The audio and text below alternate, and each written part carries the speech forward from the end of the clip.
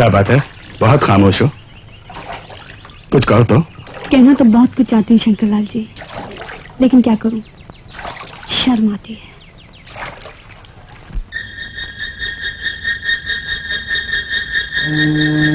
Thank you.